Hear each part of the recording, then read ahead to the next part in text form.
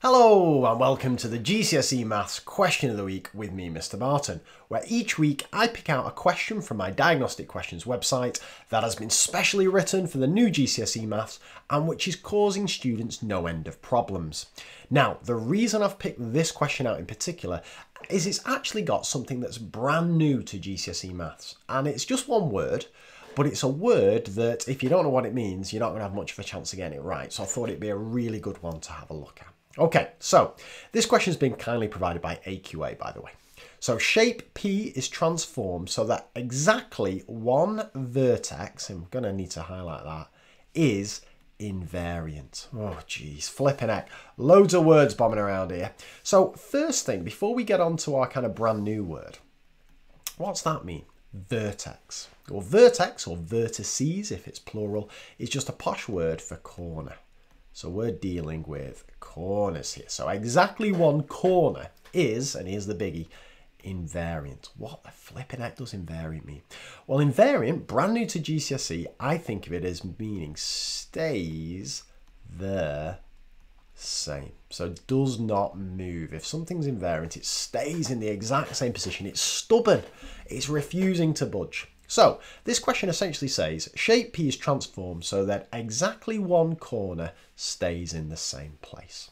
All right, so now we know that, let's see if we can actually do it. Now, I'll be honest with you, I've been dreading this video because I can't draw at the best of times, let alone when I'm trying to draw online. But I'll try my very best, but please be, be kind. So, which transformation could have been used? Reflection in the line y equals 2. Easiest thing to do there is to just draw each of these and just see what happens. So, y equals 2, what's that? Well, that is a horizontal line through 2 on the y-axis. So I reckon, I mean, I say I reckon, I reckon I can draw this. Here we go, this could, anything could happen here. Let's go for a purple. So y equals 2 is going to be that line there. Tell you what, that's not bad. I might, I might have peaked too soon here though. So let's draw this in red. So a reflection, so every single point is going to be twice as far away as it was before. So I think, excuse me for a little bit of unneatness, but I think you end up with that. So how many points are invariant? How many points have stayed in the same place? Well, that top point here, he hasn't, right? So he was there and now he's down here, so forget him. But look at this point here. That's stayed in the exact same place, right? That stayed in the exact same place. So those two points have remained invariant. But I want exactly one vertex, so that can't be the answer. But hopefully now you're starting to see what invariance is all about. It's nothing too hard, right? Next one, rotate. this is what I'm dreading. Rotation 180 degrees, center to zero. Right, first things first. Let me get my rubber out. And let's just rub these guys off. Give myself a half a chance of getting this right. Okay, so now, my strong piece of advice here is if you're in an exam or something, get some tracing paper because otherwise you end up making an absolute hash of this. Uh, rotation 180 degrees, 2, 0. Now, get that point right. You could be the world's best rotator, but if you don't know your coordinates, you're going to end up messing up. 2, 0. 2 on the x, 0 on the y. It's that point there. 2, 0. Okay? Uh, so I'm going to rotate each point 180 degrees. As I say, get some tracing paper, but I reckon I can kind of do it like this. That's four down and one across. One, two, three, four down, one across. One, two, one, two, one, two, one, two. And this one, one, two, three, four, one, one, two, one, two, three, four, one. I think, sorry, I've just put that in the slight wrong place, but I reckon that, oh God, honestly, Terrible joy. I reckon it ends up somewhere like that. But crucially, here's the important point. Can you see if the center of rotation is there, if it's outside the shape like that, none of these points are going to remain in the same place. They're all miles away from the original. So in fact, we've got zero points that are invariant there. Okay. Right, rub that off before anybody looks too hard at that one. Right, this one I'm not actually too bad at. A little bit of enlargement. So let's have a little go at this. So Enlargement, scale factor minus 2, center 3, 2. Again, get this in the right place. Center 3, 2, that's going to be there. So it's an enlargement scale factor minus 2. So every single point is twice as far away. That's what the scale factor 2 bit means. But the minus bit is going to mean it's in the opposite direction. So let's just do a few of these. So this point up here, to get to him, I've got to go two squares up. So I've got to go twice as far, so four squares, and in the opposite direction, so four squares down. One, two, three, four, end up down there.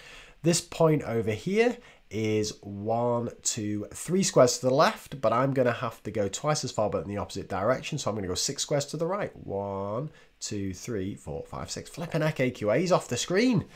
Uh, this point up here, I would have to go two to the left and two up. So I'm going to go four to the right and four down. One, two, three, four.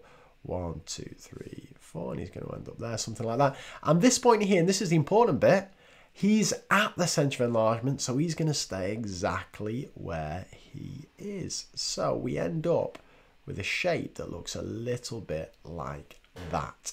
Crucially, that point there and only that point there has not moved. So that's one uh, invariant point. And finally, what about this one here? Get the old rubber out. A translation. Now, what does translation mean? Well, translation's a movement, and crucially, it means every point moves by this. Now, that's already a bit of a clue to what's going to happen here. So 0 minus 2, what does that mean? Well, that's 0 to the right, or the left, whichever way you want to think about it, and 2 down. So we're not going to the right at all, but we're just going two down. So this point is going two down to there. He's taking a little trip, two down to there. He's taking a little trip, two down to there. And he's taking a little trip, two down to there. Join me points up and you end up with that. Now, wait a minute. Is that point invariant? That point seems to be in the same place, doesn't he? No. No, he flipping doesn't. Because it's a different point. It's this point that's gone two down to there. He's taken a trip down there. This guy who was there has taken a trip down there. So whilst a point from the original shape has ended up in a position where there used to be a point, it's a different point. So it is not invariant. So there are zero points that are invariant there. Okay, so I think we've gone through where people would go wrong with this. So uh, y equals 2, it's a line of reflection that's on the line to end up with 2 invariant. Rotation to 0, I think if you got this the other way around and you put 0, 2, you're going to end up with rotating around that point. And maybe you'll end up with one point invariant there, but you've got your coordinate wrong. Enlargement's looking good. Translation not looking so good. Okay, so final thing I guess to say is what other wrong answer would you be tempted to add to this, this question? Well, I might be tempted to say, and I'm not saying whether this is right or wrong, but it's more something for you to investigate. Um, is there any line of reflection that could have one invariant point? Can you think of any line of reflection? What about something like, I don't know, uh, x equals zero? How many uh, invariant points has that got? What about if I take like slap bang in the middle? What about something like x equals 2? How many invariant points does that have? more than thinking about wrong answers for this one, just investigate, play around with some transformations, enlargements, reflections, and so on, and just see which one leave you with invariant points. The more practice you get, the better. And if you need any more help with transformations, then if you just follow the link at the bottom of this uh, page, you'll get some videos and all that kind of stuff. And try out the rest of the quiz on diagnostic questions. It will really put you to the ultimate test. And I shall return with a fresh question of the week next week. Take care. Bye for now.